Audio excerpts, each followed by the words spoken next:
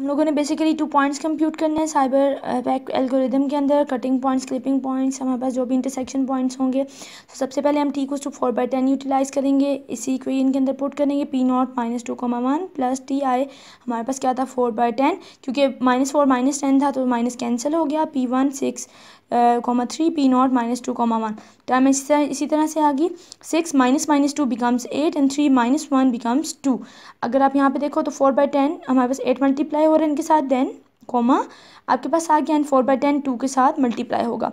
So minus two comma one and आप अगर यहाँ पे देखें तो sixteen by five comma four by five multiply करें, आप पहले डिवाइड करें मल्टीप्लाई कर लें, आपके पास ये स्टेटमेंट्स आंसर्स आएँगे।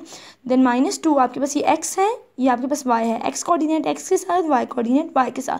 Minus two plus sixteen divided by five and one plus four divided by five तो जन देन जब आप इसको सॉल्व करोगे तो आपके पास six by five comma nine by five आएगा। ये बेसिकली आपके पास एंट्रिंग पॉइंट है और ये वो पॉइंट है जहाँ पे लाइन आपके पास कैनवस के अंदर एंटर हो रही है या कैनवस को इंटरसेक्ट करते हुए एंटर हो रही है। आप इसको वेरीफाई भी कर सकते हो। आप पॉइंट्स को प्लॉट करो ग्राफ पे एंड देन आप पॉइंट्स को लाइन के पॉइंट्स को भी प्लॉट करो कैनवस के पॉइंट्स को भी प्लॉट करो एंड देन एंड पे आप इन पॉइंट्स को भी प्लॉट करके चेक करो। नेक्स्ट देन हम यूज़ करेंगे T cos two seven by eight जो कि हमारे पास टी नेक्स्ट टी डिफाइन हुआ था. सो पी नॉट वही रहेगा टी आई पे seven by eight and P one six three P not minus two one आपके पास ये टर्म बन जाएगी eight comma two seven divided by eight multiply eight and seven divided by eight multiply हो जाएगी to के साथ. देन आपके पास टर्म आ गई seven comma seven divided by four और एडिशन करनी है माइनस टू कोमा वन में. ठीक है? एक्स कोऑर्डिनेट एक्स कोऑर्डिनेट के साथ सॉल्व होगा.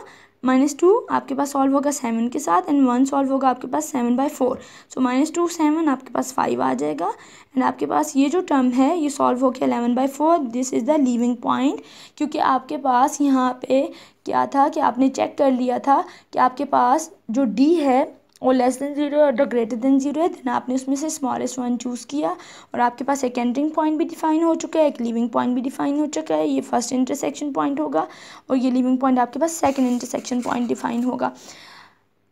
सो so, इस तरह से आपके पास लाइन जहाँ पे इंटरसेक्ट कर रही है आपके पास पॉलीगॉन को वो पॉइंट्स कंप्यूट हो चुके हैं।